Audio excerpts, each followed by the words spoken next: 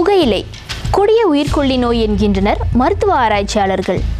ஆனால் இந்த உண்மையை எத்தனை பேர் உணர்ந்துள்ளனர் என்பதே தற்போதைய கேள்வி. புகையிலை மற்றும் நிக்கோத்தின் அடங்கிய சிகரெட் மில்லியன் கணக்கில் பறிமுதல் செய்யப்படுகிறது. அதற்கு முற்றுப்புள்ளி எப்போது? பதிமூன்று முதல் பதினேழு வயது வரைக்குமான பதின்ம வயதினரையும் விட்டு வைக்கவில்லை இந்த சிகரெட் மோகம். ஈராயிரத்து பன்னிரெண்டாம் ஆண்டில் ஒன்பது பேரில் ஒருவர் அதற்கு அடிமை. ஈராயிரத்து பதினேழாம் ஆண்டிலோ எழுவரில் ஒருவர் அதற்கு அடிமை. இதற்கு காரணம் என்ன? சிந்திப்போம் செயல்படுவோம் ஆரோக்கியமாக வாழ்வோம்.